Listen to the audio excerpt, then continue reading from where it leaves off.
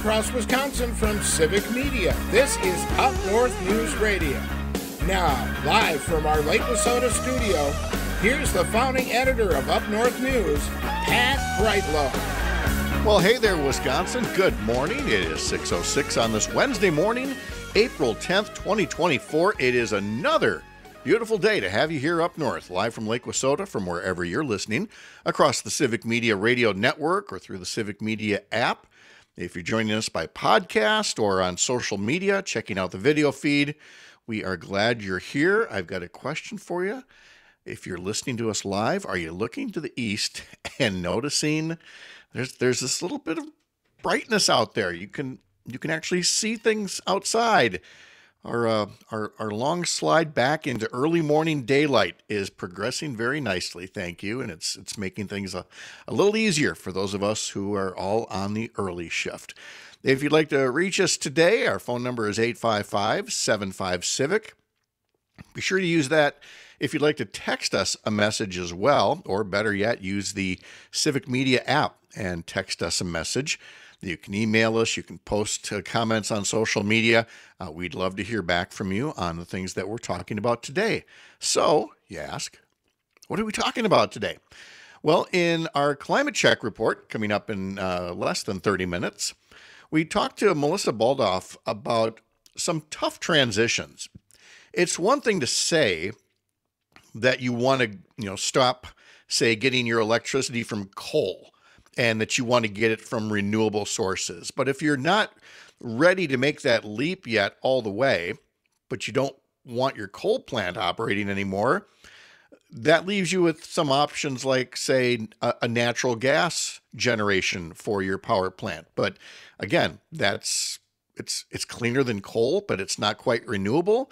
There are some communities that are wrestling with this transition, and we'll talk to Melissa about that. We will hear from State Senator Kelda Roys about Governor Tony Evers yesterday calling the legislature's Joint Finance Committee into special session. Now, Republicans have pretty much ignored every other uh, request from the governor for a special session. This one's just for the Joint Finance Committee because they're the ones holding up $125 million to clean up PFAS contamination. And so we'll have the latest on that showdown coming up in just a couple of minutes here. In our second hour, we are going to talk to retired DC police officer Michael Fanone. He was one of the many law enforcement officers attacked and badly beaten by a mob during the January 6th attack on the U.S. Capitol. Uh, he's in Wisconsin this week on a speaking tour, warning of the dangers of embracing violent political rhetoric, words that can motivate others to engage in violence. And Congressman Mark Pocan will join us live around 7:30 with an update on the ongoing saga of the Republican soap opera that is delaying aid to Ukraine and Israel and taking care of other high priorities here at home. So we got a lot coming up today. Let's check out some of the temperatures at 6 a.m. around the state in all of these places with fine civic media radio stations. It's 39 degrees here on Lake Wissota, home of 93.5 The Tap. Uh, Hayward is at 30 degrees, Park Falls 32. In Wausau, where you're listening to Bull Falls Radio, it's 37 degrees right now. Green Bay's at 45. Listeners to the Eagle in La Crosse are at 44 degrees. Wisconsin Rapids 42. Oshkosh 45, Madison 43. And in the sleepy little hamlet outside of Milwaukee, known as Waukesha, Wisconsin, it's 43 degrees, where we also find Greg Bach standing by with Is that a Brewers playoff t shirt from years gone by? It is. What year is that? I can't I can't read your It's 21. 2021. 2020. I decided uh, I wanted morning. to try something new though, Pat. Can I try something new? Yes. Hit it. I want intro music now. And I'm in control, so I get intro music. you, you want walk up music. All right, that's it. I just wanted to try that. I like the initiative. I do. I, I also I, didn't I like, realize there was an intro into that intro music. I mean, you're literally tooting your own horn there by, by bringing up the brass section to, to bring bring you in. So, yeah. how you doing, Pat? Good work. Uh, I'm fine. So, who was that we were hearing? That's the intro music for John Cena. He's a very popular wrestler, uh, oh, actor. Yes. Uh, you hate on wrestling, but you know it's No, but I really like him. I like him. I like I like Dwayne Johnson, The Rock. I just never saw them in their wrestling days. oh, You know, so good stuff. I, yes, for the for for those who appreciate it, absolutely. and, I, and I just like that. Uh, you know, they they seem they, they totally they clearly got the, the the deal of how much of this is acting and to be a character, and that they were able to take those skills then and go mainstream with them. Yeah. I think is is very cool. Now, I'm, I'm not going to get into comments uh, The Rock made over the weekend about politics because I don't have it in front of me and I, I don't want to misspeak. But um, a- again, from an acting standpoint, I've, I've really enjoyed watching them. Yeah. It's good. So you've you picked some good walk up music there. Thank you very much. Because you're a bit of a character yourself. Oh, I thank you. Thank you very much. I don't know what you're talking about, Pat. I don't know what you're talking about. not, not even in the least, of course not.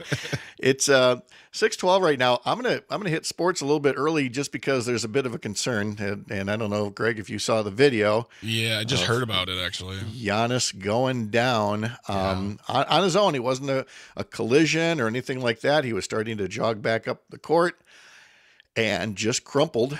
and uh, so the the the Bucks did uh, snap their four game losing streak, but their two time MVP is hurt. Uh, Giannis, at the very least, strained his left calf in the third quarter of the Bucks' 104-91 victory over the Boston Celtics. Um, but Doc Rivers says uh, that Giannis Antetokounmpo was undergoing an MRI on his calf, and he would have his Achilles tendon tested today. Ah, God, hope it's not. I hope it's not the Achilles because that's it. you know? yeah, I mean, I mm, yeah, I I don't even the injuries that can happen playing those sports and just like it's it's not so much like you said like it, it, he didn't collide, it wasn't a thing. Just when your body says nope, Nope, I'm done with this. I just And don't. I oh my good gravy. I thought, well, may, you know, maybe it's just cramps, maybe it's some kind of a strain. Um, again, there's only a couple of games left in the regular season, then come to playoffs, and you know, without Giannis, uh, I don't, I, I don't like our odds as much. I mean, I was happy to see him beat the Celtics. That was a pretty good. I I know I, I don't know much about basketball, but I do know that we need to beat the Celtics every chance we can get. Yes, and that was good uh, because again, we're looking at seeding for the playoffs, and Boston is way up there in, Yes. the, in the seeding right now. So anytime you can kind of crack the code and figure out how to beat them, it's a good thing.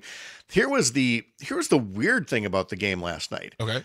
There were so few fouls that the the Boston Celtics became the first team in NBA history to not shoot a single free throw, and the Bucks themselves only shot two free throws. In the entire That's- game, In the entire game in NBA history, there's never been a case where there were so few fouls that teams didn't go to the line and shoot free throws. very that weird? interesting. That's some, I guess, some clean playing or some sleeping refs.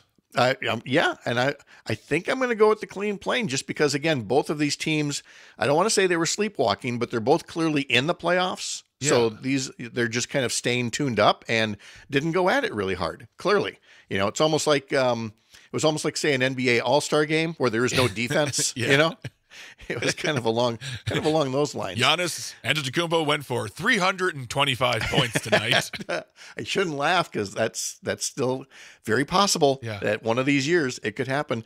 Uh, the Bucks do have their final regular season home game tonight versus Orlando. Then they're at Oklahoma City Friday night. They're at Orlando on Sunday afternoon. Catch tonight's game starting at 6:30 on Lake Air in Amery and locally grown radio in Wisconsin Rapids. Meanwhile, for the Brewers, Christian Yelich. He's getting off to a good start. I know, and I was saying that before opening day because it's like you're now with with Jackson Chourio being the new hot commodity there. It was like we Mm-hmm. were in like 2018 with Christian Yelich and Ryan Braun. Exactly. And I was asking the question, you know, is Christian dealing with the idea of becoming the I I, I use the term with all the respect, the elder statesman of the team. yeah. Or does he go the Aaron Rodgers, Brett Favre route? Yeah, and and his injury, you know, even though it was years ago, it's still I felt like he was still hampered by that that ankle injury. But mm-hmm. man, good. Yes, this is exactly I want Christian Yelich to have like a dynamite season. And he's having a good start. He he drove in three runs. Blake Perkins drove in three runs, helping Joe Ross and the Brewers beat Cincinnati nine to five last night. Yep. Uh, Perkins and Sal Frelick each had three hits. Milwaukee had 13 overall. Jake Bauers had two RBIs. Ross earned his first big league win since June of 2021 when he was with the Washington Nationals because Ross has been recovering from his second Tommy John surgery that he had in June of 2022. so almost two years later, he's back. So That's- good on Russ. Yeah. Good, good bat, good bats, good bats happening right now.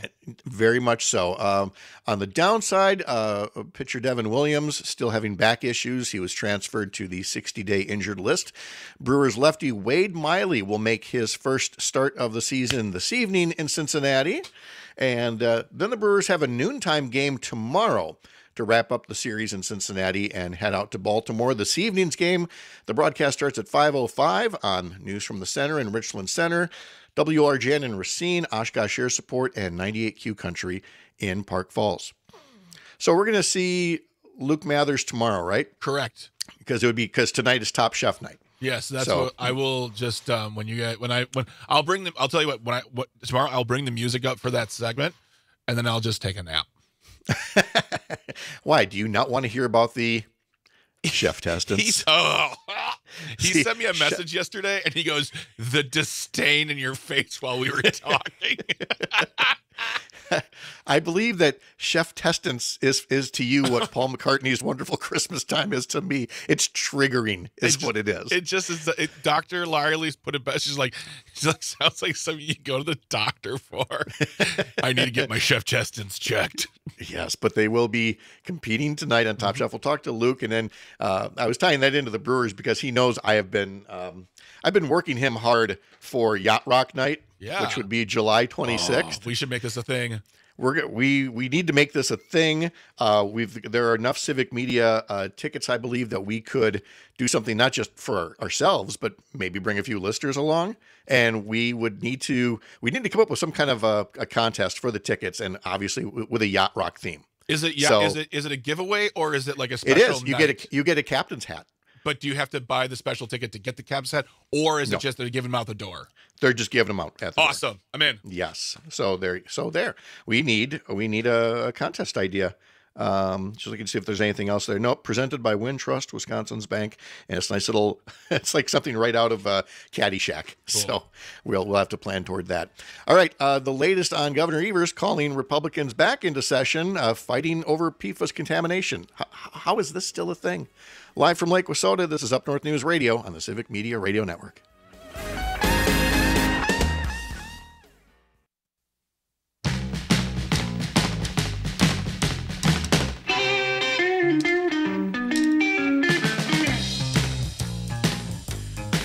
Brian Setzer of the Stray Cats has a birthday today. Uh, and he's in senior citizen territory, turning 65 years old today. We'll have that and uh, more coming up in today's history lesson, about a half hour from now. Well, we've heard several times since Governor Tony Evers assumed office with a Republican led legislature that he would call the legislature into session for some important issues to say, hey guys, uh, this is an important issue. Why don't we set all the politics aside and why don't we try to work out something together? Republican legislators have responded with words that are not suitable for radio. And rather than coming in to debate and compromise and reach agreement, uh, they have done the procedural equivalent of thumbing their nose or offering up a, a middle finger. Coming into session, just a couple of them to gavel it in, gavel it out, and basically ignore the governor. In doing so, of course, they're ignoring Wisconsin voters who are paying them to, to get things done. For example, get chemicals, industrial chemicals, out of our drinking water. We have over the years been discovering the many different ways that an entire class of industrial chemicals known by PFAS, PFAS, which is an acronym for a very long chemical name, Uh, these chemicals are, are used in things uh, like you know waterproofing, you know Scotchgard for fabric, for nonstick, uh, you know Teflon type coating, firefighting foam, a whole host of products.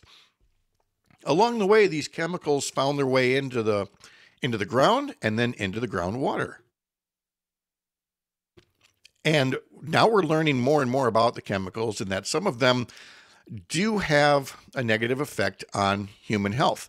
They're called forever chemicals because they don't break down easily. They're man made chemicals. They're not designed to break down it by just the products I told you about. You can tell they're designed to be durable. So they've made it in the groundwater supply, and that's caused issues and expensive issues to remediate these areas, to test, to monitor. And frankly, if some of the the people and companies dumping them are still around, they should have to help pay for some of this cost, don't you agree? Well, the legislature in their budget passed $125 million to clean these things up. Now, stop me if you've heard this before. Well, no, don't, because it, it's we're going to say it again and again. What Republicans have done with the budget is they've budgeted a total amount. And in normal times, when the budget is passed, the legislature's work is done. It then goes to the executive branch, where the agencies there, like the DNR, figure out from that pot how they're going to spend that money to address whatever it is in the budget the money is designed for. But this legislature is saying, oh, no, no, no, no, we're not going to release the money. You have to come back to us with each individual request and say, Mother, may I? Which is not workable, and also a way for the legislature to essentially not spend the money that they claim they're going to be spending. And that's what they're doing right now. Not a dime of that $125 million has gone toward any kind of uh, cleanup or enforcement or anything like that.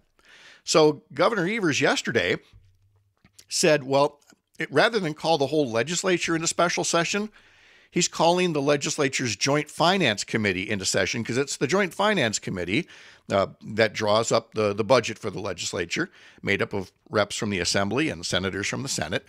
Uh, that's the group that's the holdup. So he's just calling that committee into special session. Uh, Democratic Senator Kelda Roys from Madison is a member of that committee.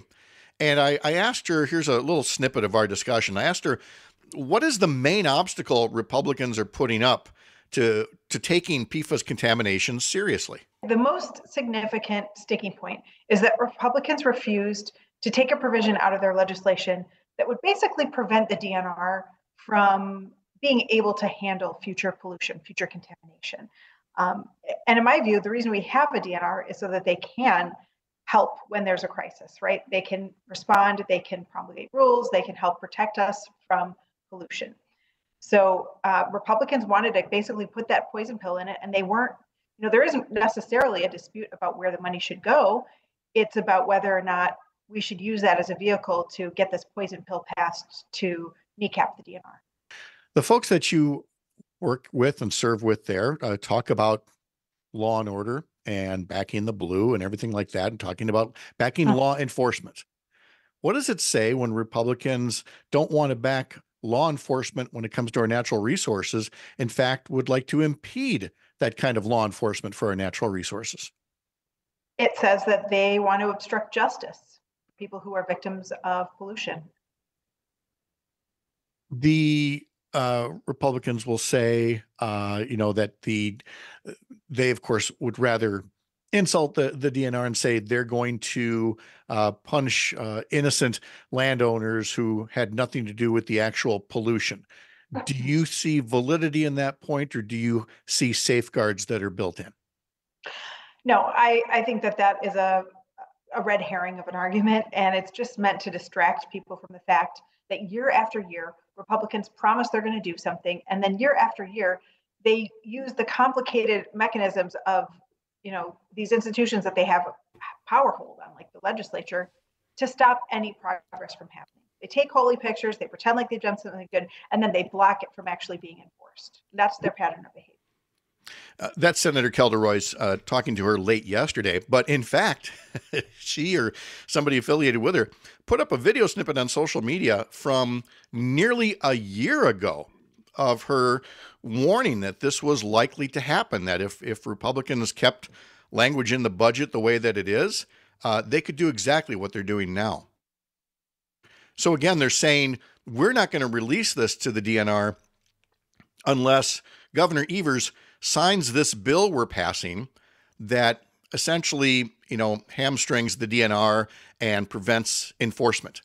Again, under the guise of, well, the DNR will will force people to clean things up on their land, even though they're the victims, they didn't dump it. But those safeguards are already in there. And this looks much more like a case of, as the senator is saying, a, a head fake of saying, oh, we're, we're going to solve this problem, but then in fact not solve the problem in order to protect industry, to protect the polluters, to protect an entire class that uh, should not have to pay in in their view. The the DNR, the state taxpayers should have to pay for cleanup as much as possible. So the money again has not been allocated one bit. And look at something like in Wausau, where uh, Mayor Katie Rosenberg had to, uh, you know, be extremely aggressive in finding funding sources for water treatment there.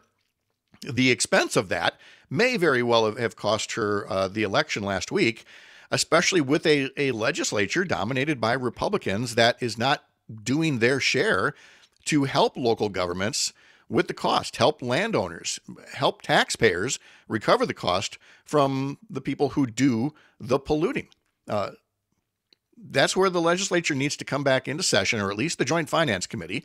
The governor's called them to come back in Tuesday of next week so we will watch and see if, if they, again, try to take this seriously or if they continue to play politics in order to protect polluters and prevent any cleanup from happening. Coming up next, Melissa Baldauff is going to join us for our weekly climate check. We're going to talk about the transition from coal to renewable and what some of those uh, transitions, some of the challenges of them, and what they can do to our air quality in the meantime, where things are a little better, but not as not as good as they could be. It's coming up next. You're up north.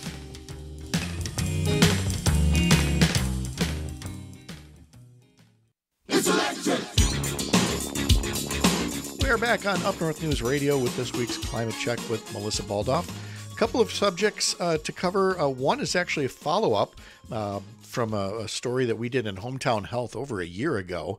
And both of our stories this week involve natural gas fueled power plants and what's their role in a, a, transition from, say, coal to much cleaner, greener, renewable forms of energy. Melissa, good morning. How are you? Good morning. I'm doing well. How are you? Good, thank you. Um, all right, so let's start up in Superior, where there has been a, a lot of, well, I guess contention, a lot of contentious uh, debate about whether to put a natural gas plant called the Nemadji Trail Energy Center uh, near a river in an industrial area of Superior.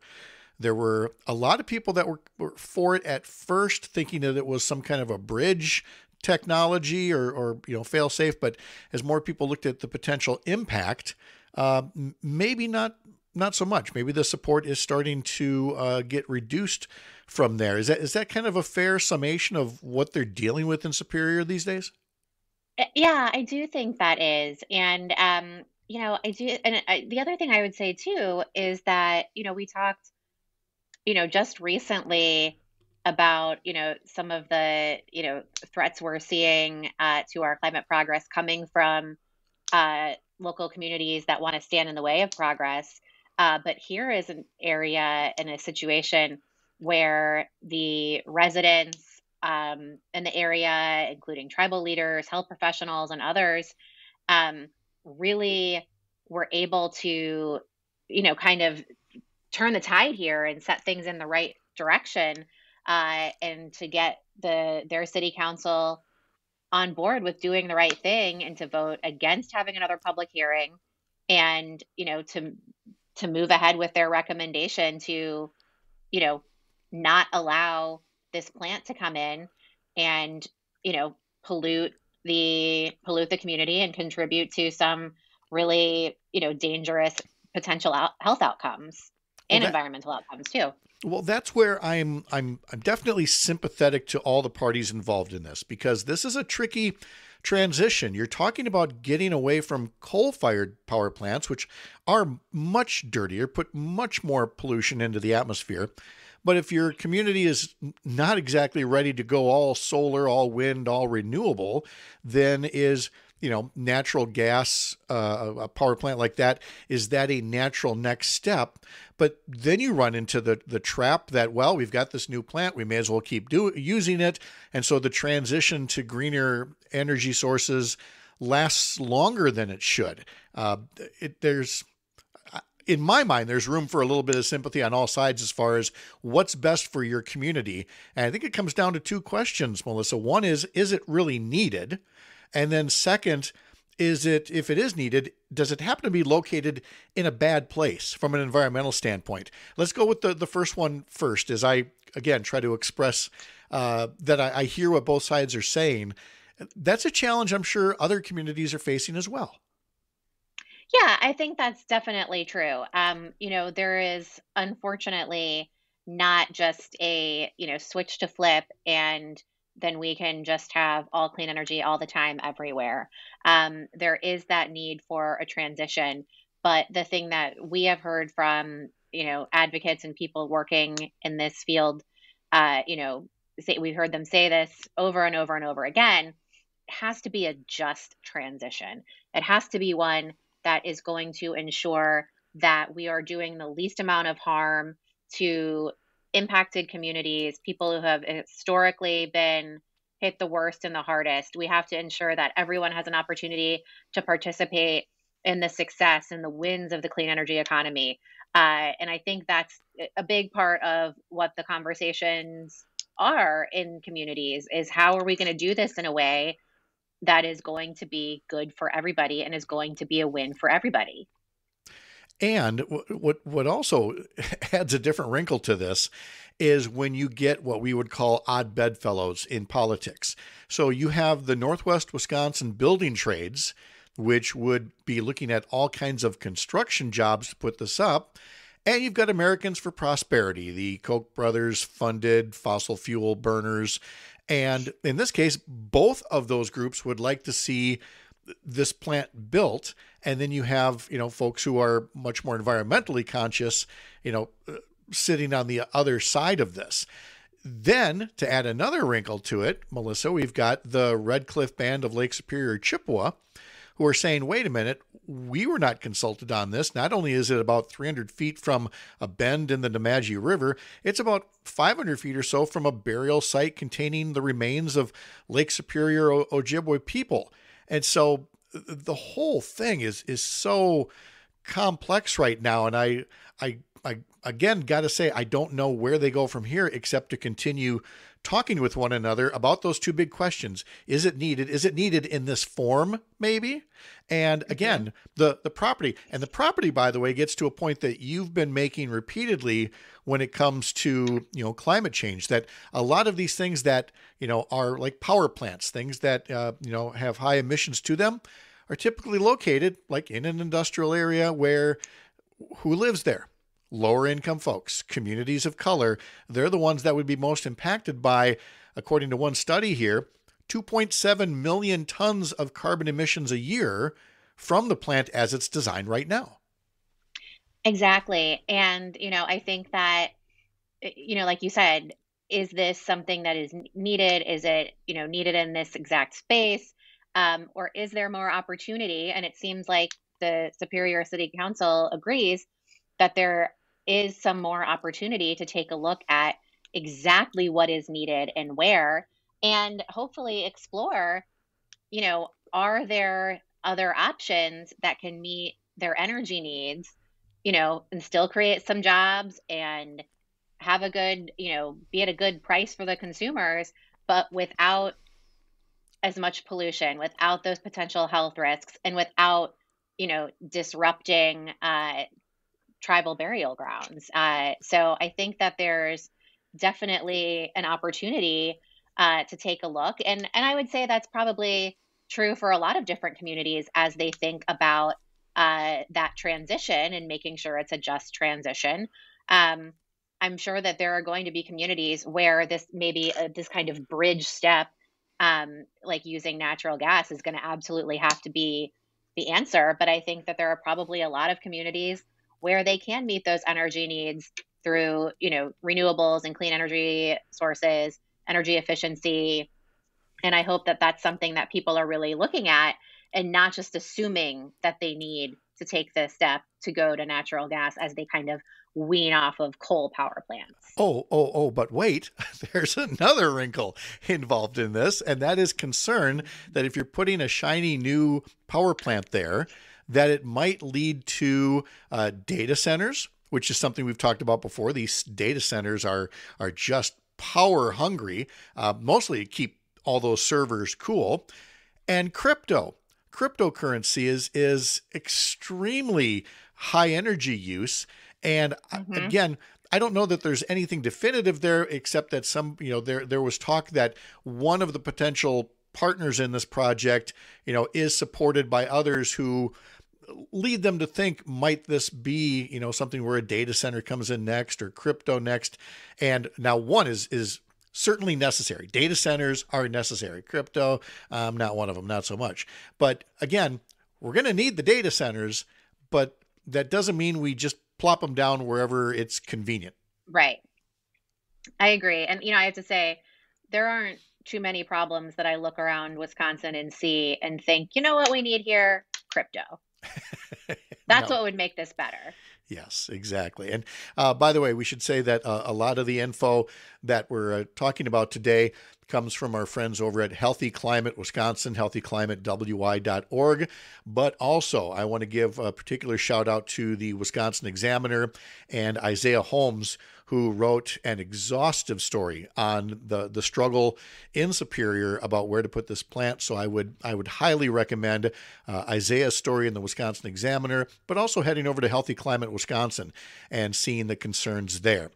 Now we're going to pivot because we're just going to to keep following that story as it develops. But now we're going to pivot to another case where a natural gas power plant may be playing a, a, a negative role in local air quality, and that's in Beloit.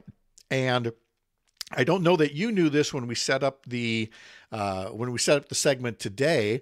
Again, hearing from the folks at Healthy Climate Wisconsin, but we had actually talked to uh, to folks from uh, the Beloit area in February of last year, and they they said they were just about to start a more intensive monitoring program of air emissions because they really thought that the the air wasn't uh, you know great quality around Beloit, but they didn't have the measurements to prove it.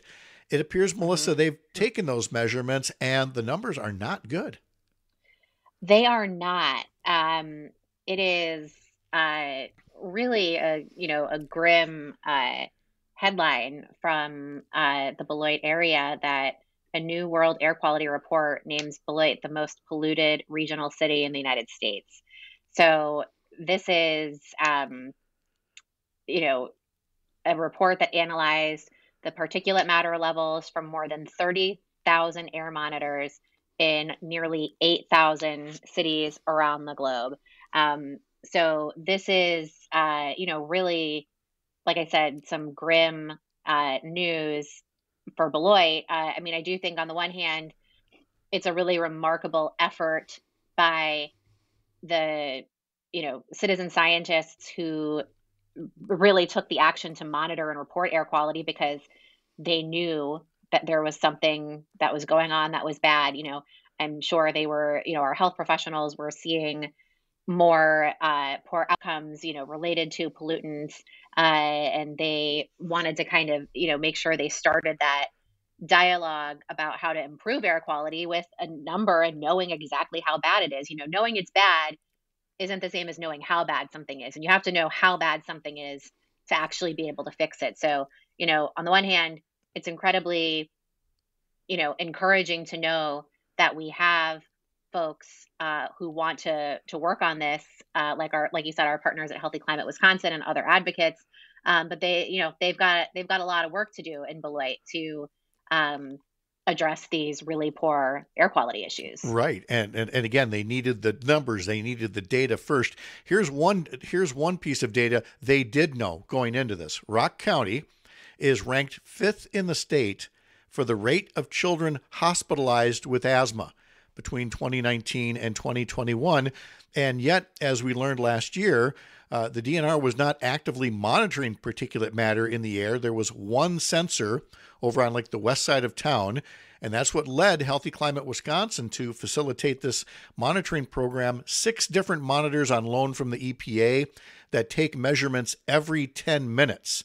And so now that they've got this data, um, one of the folks we had on last year is Pablo Toral, a professor of environmental studies at Beloit College.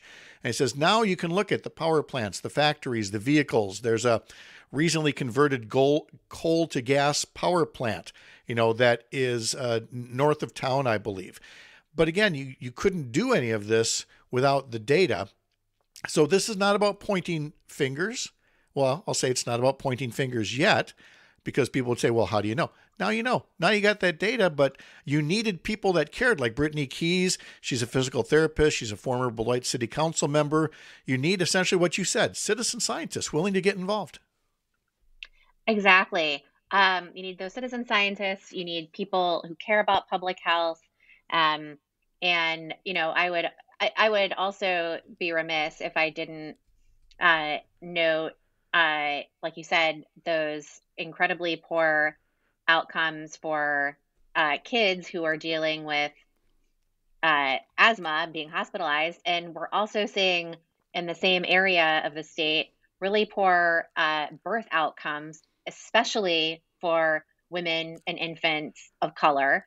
Uh, and what what an opportunity we have to address a bunch of these issues if we could only get the Republicans in Madison to agree to expand Medicaid.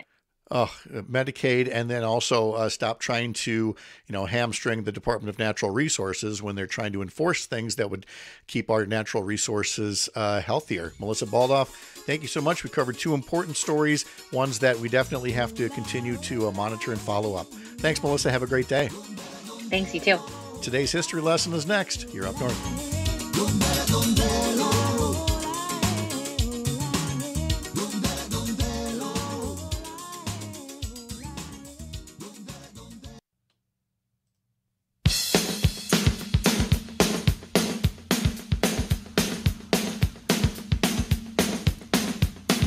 May scream now.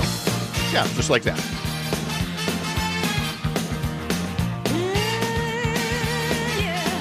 I, I don't know how Katrina Leskanich of Katrina and the Waves didn't have more hits. That's such a good, nice little feel good, uh, you know, bebopper from the, what, the late 80s. Uh, Katrina turned 64 years old today on today's list of uh, birthdays and musical history and actual history and things you, you didn't learn in school or maybe Melissa Kaye did when she was attending all that time ago. Melissa, I learned this song from Secret to My Success with Michael J. Fox. Oh, oh I okay. love that movie. So many weird, not great like today yeah, scenes, like, but still. Mm-hmm. It doesn't hold up I in mean, all those things, but that's a deep cut. Yeah. I'd, I'd long forgotten about that movie. I saw that movie in the theaters. Whoa. Yeah. yeah. What was the? I had it recorded on a VHS tape. Uh, similarly, don't tell anybody. Michael J. Fox was in another one with Joan Jett, I believe it was. Um, oh, and yeah. They, it was a song together. Was it Break of Day or? Yeah, I think it was Break. Uh, uh, uh, hold on, I'm gonna look it up. You okay, talk. He's gonna look that up while we get into. Speaking of '80s, we mentioned uh, Brian Setzer earlier from the Stray Cats. He Light of Day. Six, Light of Day. Thank you, um, Brian Setzer, 65 years old today. Doing all this stuff now.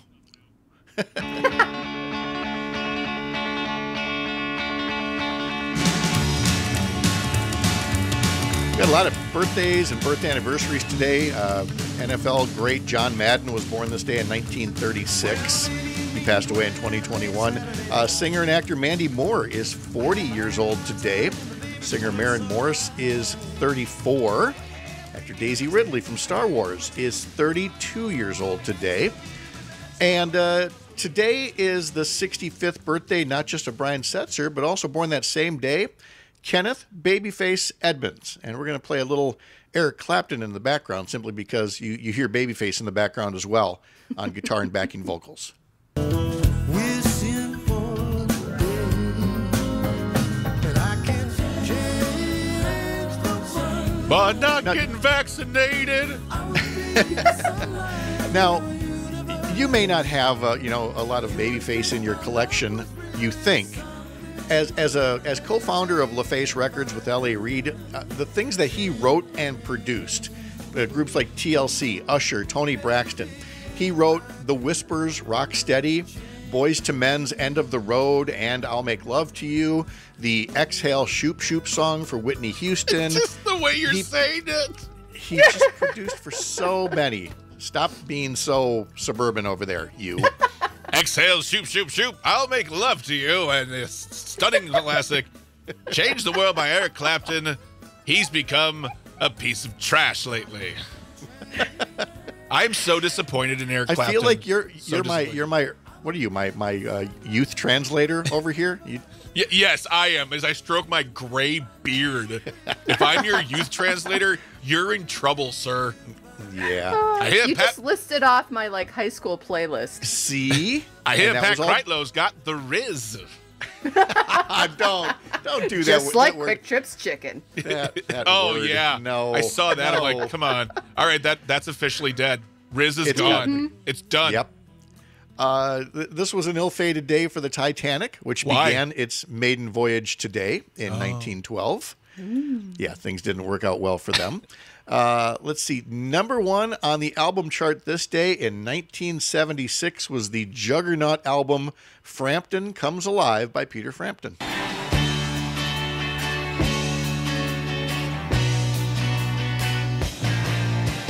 Wow. wow, wow, wow, wow, wow.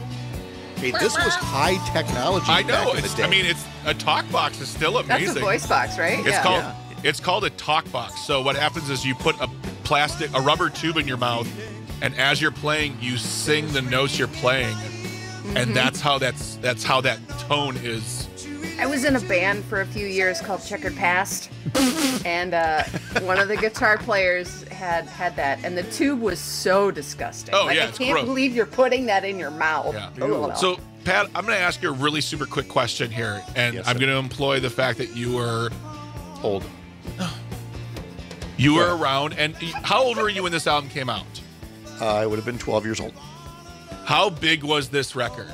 Oh my! I I had to hold back trying to state how big this record was. Yeah. At the time, I mean, and, it was the thing until the next year when Fleetwood Mac's "Rumors" came out. Oh my God! But but these were albums that everybody had. The the the, the tunes were on radio everywhere. I'm sure on Z100 here in Eau Claire, on on the old KDWB AM in the Twin Cities. On, who, who was the rocker back then? WOKL, WOKY in uh, in Milwaukee. Oh yeah, play, playing 93, nothing oh, but 93 Frampton. QFM probably was the one here in Milwaukee or in this area. I remember there was a joke in Wayne's World where she's showing him records. She's, she's like, I got Frampton Comes Alive. She's like, he's like, so what? Everyone has that. If you lived in the suburbs, they sent you that album like samples of Tide. That reminds me, the, the old man said we, we should actually do one of these days a show or a segment dedicated to some of those old ro- AM rocker stations around Oh, yeah. Wisconsin. You know who who they were and some of the the old uh, the old boss DJs they used to tell them. Uh, anyway, on this day in 1970, Paul McCartney announced that he was leaving the Beatles. Uh, Elton John's self-titled album was released this day in 1970, which included uh, the tune "Your Song." Uh, on the national calendar today, Melissa, today is National Hug Your Dog Day. It's National Siblings Day. Notice how it doesn't say hug your siblings. Uh, You can hug, hug your dog, yeah, siblings. Eh. Encourage a Young Writer Day. It's Global Work from Home Day. Check. Uh, it's National Golfers Day, National Bookmobile Day, National Farm Animals Day, National Safety Pin Day. Yeah, somebody thought to have a day dedicated to the safety, Safety pin. pin? I mean, it was very innovative for its time. It, that's what they're saying. It's, you know, much like the, much like the talk box. It was innovative. for its No. time. Safety pins are far more useful. I want to get Well, a talk yes. box for the studio. I'd be like, Good morning, Matt. Yeah, well, now we've got the whole auto tune thing. Do you believe um, Welcome to Up North need it. You can just do it with your voice, Greg. What is happening at locally grown radio? Oh, we had an exciting day yesterday. Our CEO Sage uh, came and visited us Oh, with Aaron fun. also to talk about changes coming for our WIRI station, um, and some potential ones as well for WFHR. So we are we've got exciting things happening, but you know, on our our they're going to be talking about campfire cooking on Friday during a midday magazine with some of our local historic Point Basse people. And I don't know, do you guys like to cook over a campfire? I- I did once upon a time uh, when I was younger, like in a Boy Scout troop, but I, I haven't for the longest time. I love it when Grubhub gets there to my campfire. It's great. I just Melissa Kaye, thank you so much. Yes, always good to great see you day. guys. Yep, we'll see you next week. Coming up in our next hour, former DC police officer Michael Fanone on trying to stem the violent rhetoric in political speech these days, and Congressman Mark Pocan, all in our next hour on Up North News Radio on this Wednesday morning. You're up north.